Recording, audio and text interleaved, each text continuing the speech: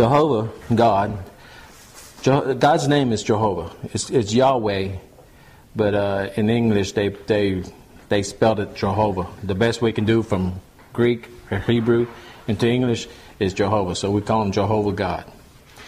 And Jehovah told Adam that if he ate the fruit of the tree, that he would die. And it happened. And since Adam sinned against God, Adam, because of Adam, now Adam and us, we have to pay the price of that sin, which is death. We died in the spirit, which I've told y'all before. We died in the spirit because of Adam disobeying God. And because we were found guilty, God said your penalty for sinning is death, meaning separated from Him. But also, Jehovah God said, I pass judgment on you, but I'm a righteous and a loving God, and I'm going to help you come back to me through his son, Jesus. He says, I'm going I'm to take care of this. You, you messed up, but I'm going to fix it for you, is what he said. So because of Adam, we had a debt to pay, and the only way we could pay it was through the blood. And at first it was animal sacrifices, and then in the New Testament it came the final blood, which was Jesus, which I'm going to teach that he is Jehovah God. Now in Matthew's 1:18 it says, Now the birth of Jesus Christ was on this wise. When as his mother Mary was espoused to Joseph, before they came together, she was found with the child of the Holy Ghost. But while he thought on these things, behold, the angel of the Lord appeared unto him in a dream, saying, Joseph, thou son of David, fear not to take unto thee Mary thy wife, for that which is conceived in her is of the Holy Ghost. And she, she shall bring forth a son, and thou shalt call his name Jesus, for he shall save his people from their sins. Now all this was done that it might be fulfilled which was spoken of the Lord by the prophets, saying, Behold, a virgin shall be with a child, and shall bring forth a son, and they shall call his name Emmanuel, which being interpreted is God with us. Now back up here where it says uh, the Holy Spirit. Now we know that we believe in the Trinity here, right? Father, Son, Holy Ghost. Okay, the Holy Ghost, which is God, and which is Jesus. But Jesus. question here. The Holy Trinity, is that three separate entities? No, some people think it's three gods. It's one God. There's only one God. His form is taken in three different ways God in heaven, and then as a man, which we'll read the scriptures about all this, and then as the Holy Spirit. But it doesn't make him one third God over here and one third. He is just, there's only one God, and that's it. And all three, Jesus, Holy Spirit, Jehovah, they're all one God. It's just one God. Because the Bible says there is there's only one God. So they're not three different gods the big God in heaven, then the little God, Jesus, and then even a smaller God, the Holy Spirit. It's all the same. And like I said before, uh, the best illustration I saw of it, saw of it is uh, water, steam, and ice. It's all water. It's all the same. They're exactly the same. And it says, and she was she was conceived, her is of the Holy Ghost. Now, the, again, I want to say Jesus, we know Jesus as being the Holy Spirit, right? After he died on the cross, resurrected, he came back as the Holy Spirit. But the Holy Spirit has always been here because the Holy Spirit is Jehovah God. And these are the, these are the verses I'm going to give you tonight, showing you how all three of them are one. And that's, that's why I'm doing this, because I'm giving you lots of scriptures tonight to, to prove that. And in verse 23 it says, Behold, virgin shall be with child and bring and shall bring forth a son, and they shall call his name Emmanuel, which being interpreted is God with us. Now, all these scriptures I'm going to be giving tonight, and it's you only got half in your hand of what I'm doing. I only did four pages. I got eight pages to show that Jesus is God and the Holy Spirit.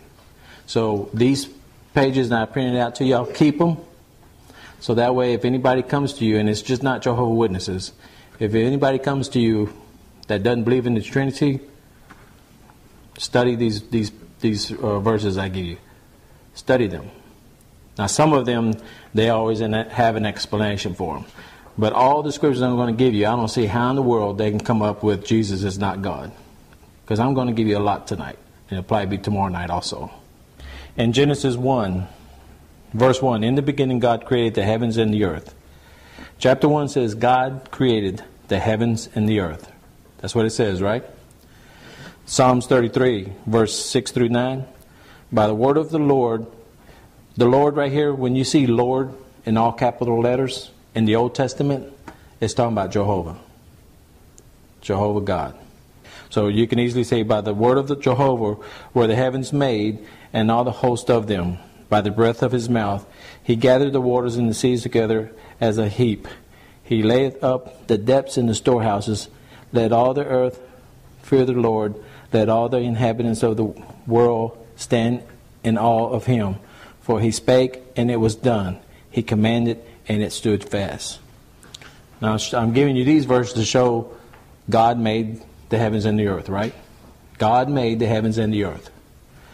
But if we go to the New Testament, John chapter 1, verse 1 through 1 through 3, it says, In the beginning was the Word, and the Word was with God, and the Word was God. The same was in the beginning with God. All things were made by Him. The Him is, is the Word. And we know who the Word is, right? Because of verse 17 when it says, And the Word became flesh. So the Word, the all things were made by him. It's not, not talking about God, it's talking about Jesus here, the Word. And without him was not anything made that was made. Also, to back that up, in Hebrews chapter 1, verses 2 and 3, hath in the last days spoken unto us by his Son.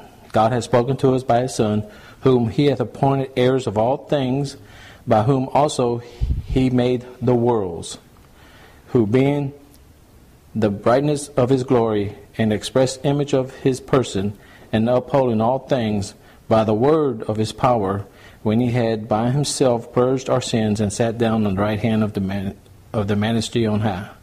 Again, it just shown that that the God, I mean Jesus, made everything. Made the worlds. Made the worlds.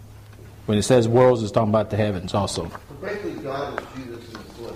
Jesus is God in the flesh. Well, that's what I'm going to prove over and over and over and over. It says in, in Genesis, God made everything. God.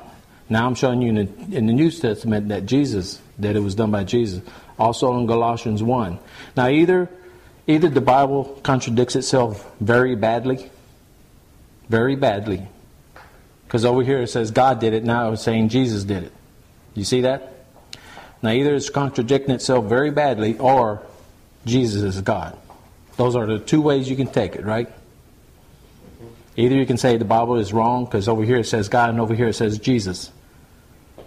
Or you can look at it as Jesus is God. Galatians chapter 1, verse 14 through 17.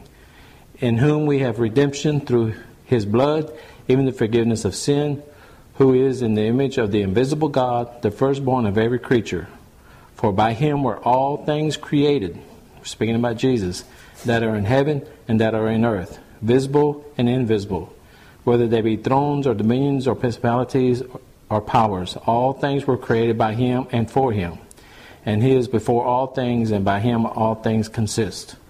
I'm going to be showing several, not just creation, how, uh, how in the Old Testament it says God, and then in the New Testament it says Jesus. I'm showing it through his creation, but I'm going to show it in other ways also. So the Old, so the Old Testament says Jehovah created everything. The New Testament says Jesus created everything. Like I said, there's only there's only two ways to take that. So we have to choose, which uh, I've already taught on that. You know, are we going to believe that this is the Word of God? The Bible that we have, that we read, are we going to believe this is the Word of God? Now, 1 John chapter 5, verse 7 For there are three that bear record in heaven the Father, the Word, and the Holy Ghost. And these three are one. It's the scriptures right there. That's the Word of God. That's, that's word for word from the scripture right there. That's right. You, just like you, what I get printed out on those papers comes straight from the Bible. None of this is my wording. So how people cannot believe in the Trinity, I don't know. Because right here it says these three are one. There's three. That's why they call it the Trinity. The word Trinity isn't in the Bible. But three, Trinity, there's three that are one. And right here in 1 John chapter 5, verse 7, it plainly says it. There's three that bear record in heaven the Father, the Word, and the Holy Ghost. And these three are one. Do we believe the Word of God? Yep. And it says D301. Galatians chapter 2, verse 9 For in him dwelleth all the fullness, it's talking about Jesus. For in him, Jesus, dwelleth all the fullness of the Godhead bodily. He's talking about the Trinity. In Jesus, he has the fullness of the Godhead bodily. All three. That's what it's. This is what Galatians 2 9 is saying. You have the Trinity, three in one, but there's only one God. There's not three gods. There's only one God. Now the Bible says we have Savior. We know we have a Savior. Well, if you read the Old Testament, Isaiah 43 11, I, even I, am the Lord. Now this is Jehovah God speaking. And beside me there is no Savior. So God is saying, God is saying right here that I, even I, am the Lord, and besides me there is no Savior. So God is, said, is saying He is the Savior, God. But remember what Matthew's 121 says. The angel, the angel of the Lord told Joseph he would have a son. And, it, sa- and, and the angel said, And thou shalt call his name Jesus, for he shall save his people from their sins. Who's going to save their people from their sins? When, jo- when, when the angel was talking to Joseph, he's talking about his son, Joseph's son, Jesus. He's saying, He and thou shalt call his name Jesus, for he shall save his people from their sins. Now, do we have two Saviors? No. There's only one Savior. And up here in the Old Testament, it says God said he was the Savior. Okay, and then down here it says Jesus is the Savior. Right here it shows it. God said he was the Savior. Jesus is saying, well, not saying, but it says here that Jesus was going to be the Savior. In the New Testament, it was Matthew's chapter 1, verse 21. Also in Luke chapter 2, verse 10 and 11, and the angel said unto them, Fear not, for behold, I bring you good tidings of great joy, which shall be to all people. For unto you is born this day in the city of David a Savior, which is Christ the Lord. Again, I'm showing Jesus is the Savior. That's two verses I've shown that Jesus is the Savior when God Himself said He was the Savior in the Old Testament. Two verses in the New Testament says Jesus is the Savior. Why? Because Jesus is God. In Acts chapter 4, verses 10 through 12, Be it known unto you all and to all the people of Israel that by the name of Jesus Christ of Nazareth, whom ye crucified, whom God raised from the dead, even by him doeth this man stand here before you whole. This is the stone which was set at naught of your of you builders, which is become the head of the corner. Neither is there salvation in any other. For there is none other name under heaven given among men whereby we must be saved. Again, we're talking about Jesus. These are verses after verses that I'm showing you. God said he was the Savior. Jesus said he's the Savior. They're one. Now, who do we worship? Who do you worship? In John chapter 4, verses 19 through 24, the woman saith unto him, Sir, I perceive that thou art a prophet. Our fathers worship in this mountain, and ye say that in Jerusalem is the place where men ought to worship. Jesus saith unto her, Woman, believe me, the hour cometh when ye shall neither in this mountain nor yet at Jerusalem worship the Father. Now, this woman he's talking to is uh, the woman that met him at the well, and she asked for water. Well, Jesus asked for water, and then she asked for water. And Jesus said he was the living water. Remember, I taught you that that Jesus is the living water. Well, this is this is that time right here. And uh, in verse 22, he says, "You worship, you know not. We know what we worship, for salvation is of the Jews. But the hour cometh, and now is, when the true worshippers shall worship the Father in spirit and in truth, for the Father seeketh such to worship him. God is a spirit, and they that worship him must worship him in spirit and in truth. Now, right above this, right above these verses, Jesus is pointing out the woman's sin because she said uh, about her husband, and Jesus said, "Yes, you have a husband, but you have seven of them," meaning she was just a, uh, a whore. She had seven husbands. Remember what I uh, on marriage that I taught you on marriage? Anytime you have intercourse with a woman, in God's eyes, you've just married that woman. And so God said, You have seven husbands. In God's eyes, when you have intercourse with another woman, that is your wife, or vice versa, or that is your husband. Intercourse is what makes the marriage. Not uh, getting a license, not going in front of the church. In the Old Testament, in the time of Jesus, they didn't have all that.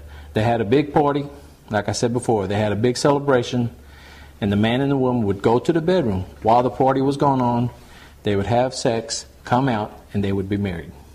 So this, this, that's why God, Jesus told this woman, "Yeah, you're right, you're a husband, but you have seven of them." So, so the woman was saw that Jesus must have been a prophet because he he knew what she was doing. But right away, she got off that subject. As soon as Jesus said that, she got off the subject and say, and she started about talking about worship.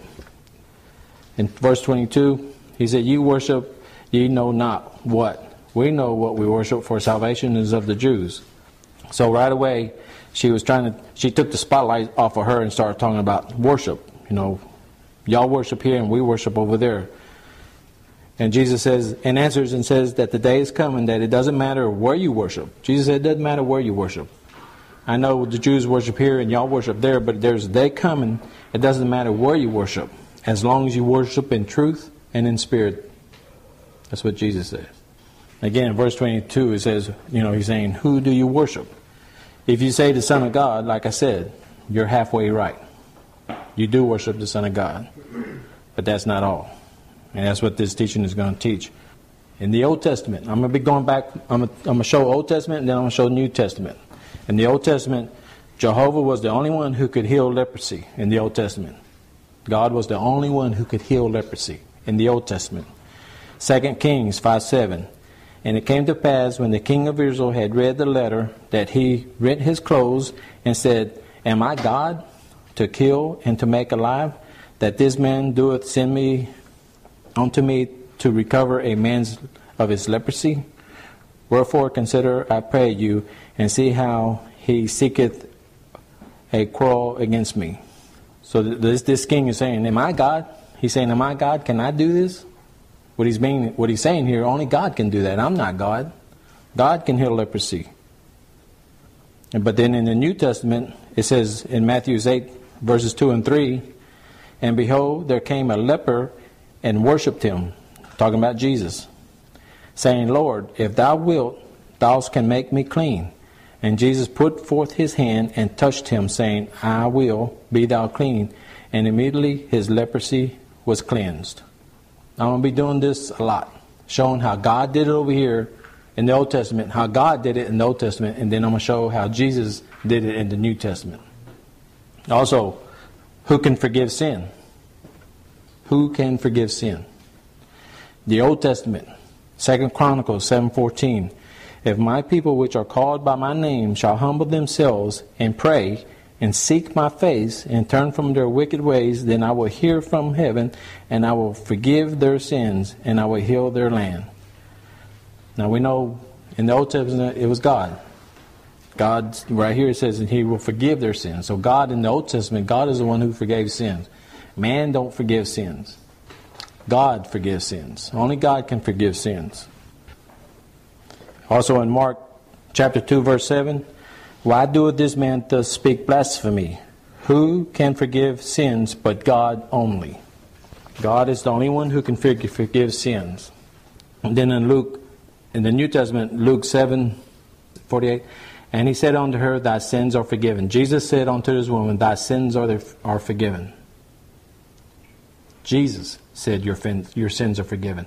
Where I just read to you in the Old Testament, it was God that can forgive sins. Now we're seeing that Jesus forgives sins. Also in Matthew 9, verse 2, And behold, they brought to him a man sick of the palsy, laying on the bed. And Jesus, seeing their faith, said unto the sick of the palsy, Son, be of good cheer, thy sins be forgiven thee. How I'm showing that Jesus is doing the same thing God can do? I'm giving you the Word of God, showing you this. Who's in control of the weather? The seas, the, the winds, which uh, we talked about that, like in Jonah. Who controls the weather? Exodus 14, verse 21. And Moses stretched out his hand over the sea, and the Lord caused the sea, and the Lord caused the sea to go back by a strong east wind all that night, and made the sea dry land, and the waters were divided.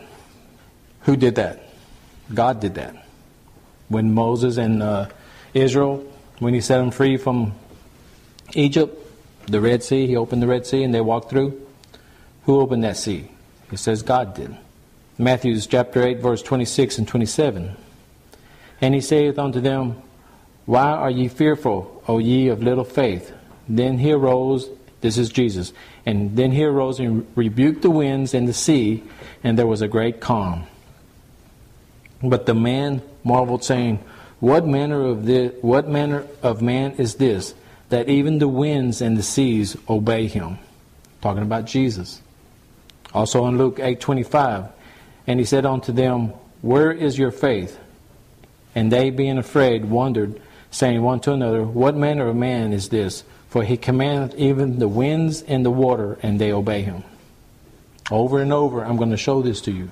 Over and over, I'm going to show you. Jesus did the same thing God did.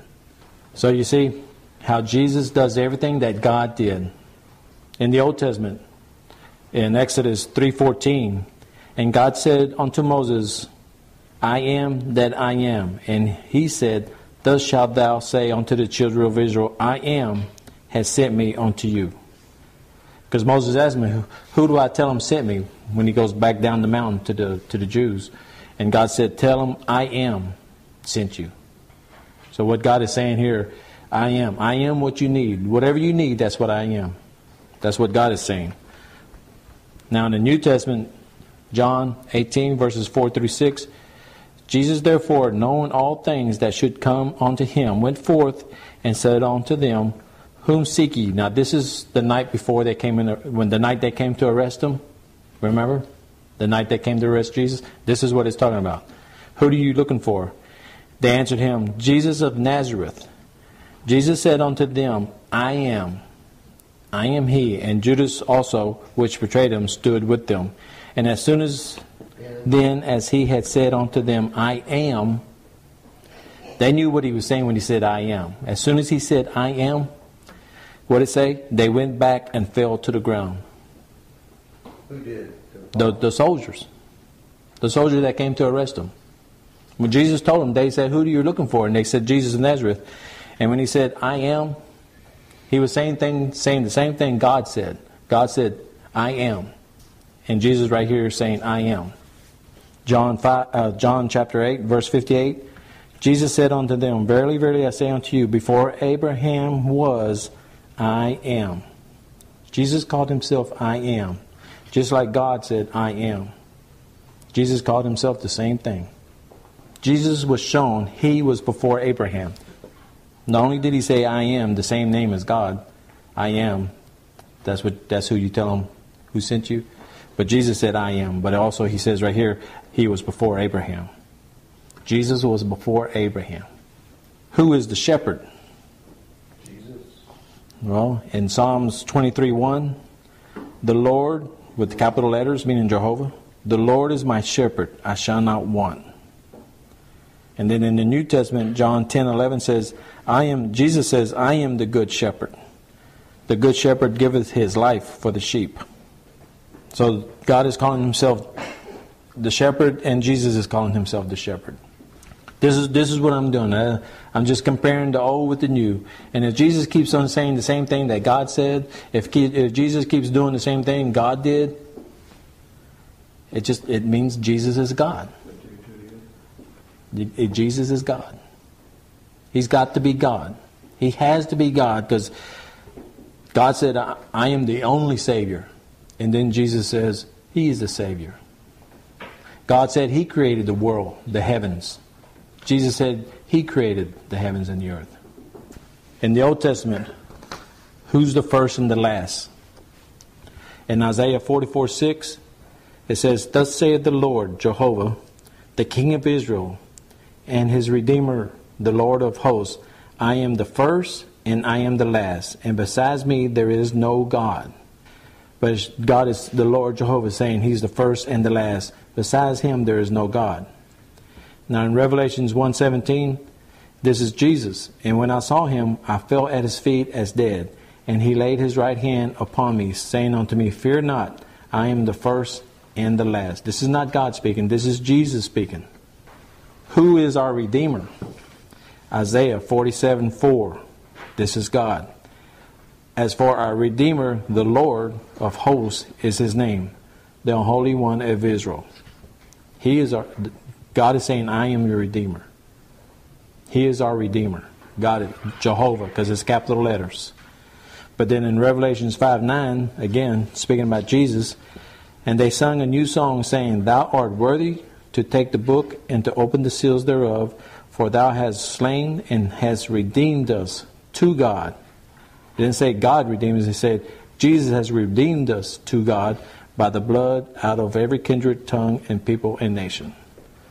So just what I'm showing here is, again, God said he was the Redeemer. Now Jesus down here is, is saying he's the Redeemer. Okay, so I'm giving you all these verses. This, when you have this, when you have the Word of God in with you, that's what, if people want to argue with you about Jesus and God not being one, this is what you give them. If you have to carry this paper with you, carry it. But just show them, hey, well, what do you do with these? Ask them, what do you do with these verses? Every one of these verses, what are they going to do with them? What are they going to do with them? I'm serious. When you can show them, look, God said He was this, and then Jesus said the same thing on this, on this, on this, on this, and on this. How, how can you say Jesus is not God when Jesus did exactly the same thing? And if they tell you, well, uh, it was a mistake, well, then you got to tell them, well, then if they're like the Mormons, they carry the King James, they just carry it. The Mormons just carry the King James. That's all they do. They live out of the Book of Mormons. They just carry it for looks because they don't live by that book. They live by the Book of Mormons. That's the book they study, that's the book they live out of. Now, when they came to the house one day, I let them. Now, you're not supposed to let them in. Do not let them. The Bible plainly says, the Lord says, if anybody comes to you with another gospel, don't let them in the door. That's the word of God. Don't let them in the door. But because of how much the Lord has shown me, I let them in the door because I'm I'm not a baby Christian and I know the scriptures. So I let them in the door, and I and I said, well, how do you get there's two Bibles, your Bible and and the King James? He said, oh, it's, it's, and he gave me the verse for it. I said, okay. I said, I'll tell you what, let me study this verse, come back in a couple of days, and if, it, if this verse means there's two Bibles, then I will accept your Book of Mormons. And they were all happy. They said, okay. And so I read it. I didn't get it that it means two Bibles. And then I went to a couple of men that I respect very highly, uh, their wisdom on the Word of God. And I didn't tell them what I was looking for, and none of them said that it meant two Bibles. So they did. They came back. They got. They came in my house, sat down, and I told them. I said, "Well, you know, I really don't see where this means there's two Bibles." I said, "Can you explain to me how this means there's two Bibles?" And them two guys looked at each other, didn't know what to say, because this is what they were told, so they just believed it. We don't need to be like that. If you say something, you got to know why you're saying it have the Word of God behind you. Someone told them that and they just accepted it. And then when I said, Well, how do you get that this means two Bibles? They couldn't answer me. We don't need to be like that. Make sure, the Lord plainly says, always be ready to give an answer on whatever you believe. God said, always be ready to give an answer. And that's why we in here need to grow so we can recognize those who have another gospel. John chapter 4, verse 23. But the hour cometh, and now is, when the true worshippers shall worship the Father in spirit and in truth, for the Father seeketh such to worship him. So in Matthew 2.11, it also says, And when they were come into the house, they saw the young child with, his, with Mary, his mother, and fell down and worshipped him. And they had opened their treasures and presented unto him gifts of gold, frankincense, and myrrh. This is when Jesus was born. What did the what did they do? They fell down and worshipped the child. So, for, so from the birth, the Lord has shown that Jesus was God. Because you only worship God. That's what Jesus said, right? God is the only one that you worship. And right here, these men fell down and worshiped baby Jesus. And in Matthew's 9, verses 18 through 19, while he spoke these things unto them, behold, there came a certain ruler and worshipped him, saying, My daughter is even now dead, but come and lay thy hands on her, and she shall live. And Jesus rose and followed him, and so and so did his disciples. So right here I'm gonna be showing you.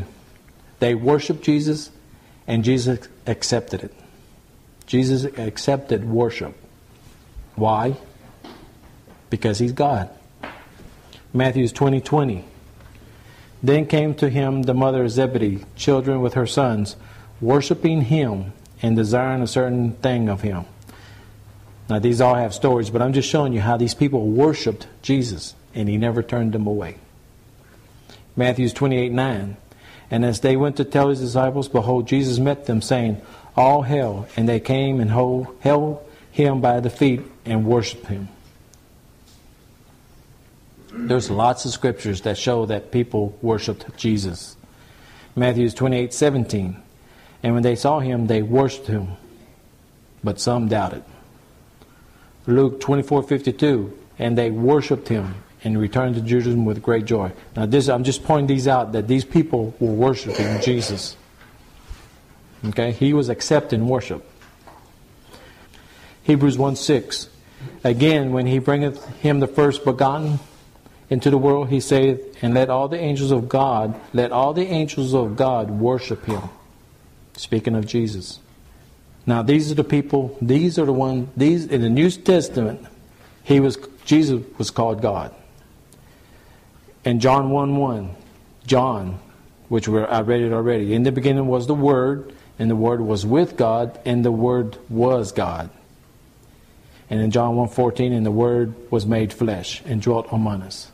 So John right here is calling Jesus God, and the Word was God.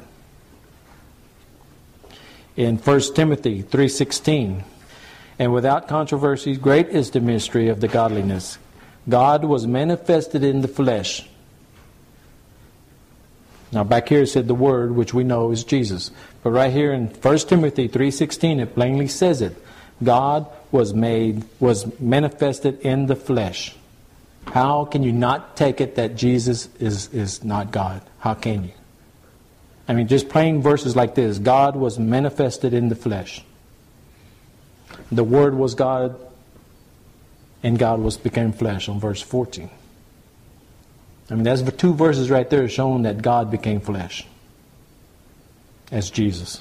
He was called God by the Apostle Thomas, John 20, 28. And Thomas answered and said unto him, My Lord and my God. This is Thomas talking to Jesus. He he says, My Lord and my God. This is a disciple of God. He says, My Lord and my God. Hebrews 1 8. But unto the Son he saith, This is God speaking. Unto his Son, Jesus, God says, Thy throne, O God, is forever and ever. This is, this is God saying, Thy throne, O God, calling Jesus God. God was calling Jesus God here. And you'll find that in Hebrews 1 8. Now we're going to see in Acts 10, verses 25 and 26. Now this is Peter. And as Peter was coming in, in, Cornelius met him and fell down at his feet and worshipped him. And Peter took him up, saying, Stand up, I myself also am a man.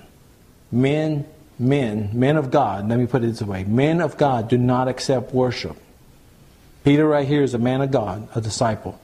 And this, this guy came and fell down and started to worship him. And what did Peter say? He stood him up and said, Hey, I'm just a man just like you. Don't worship me. Men do not worship men. There's only one you worship, and that's God. Period. Now, Paul had healed a man who was crippled since birth, and the people started to give Paul a lot of things for doing it. Paul, God told him to heal him, and God and Paul healed. Paul didn't heal him, but God healed him through Paul. He laid hands on him. And in Acts 14, 15, when he did that, he said, Sirs, why do you do Paul is saying, Why do you why are you doing these things? You know, he's receiving things and they're worshiping him.